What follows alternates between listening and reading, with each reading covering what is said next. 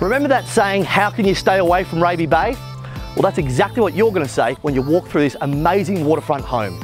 31 metre quayline, north to water, and it even has a master suite on ground level. My name's Ryan McCann. I'm from First National Real Estate at Cleveland. Welcome to 15 Captain's Court, Raby Bay.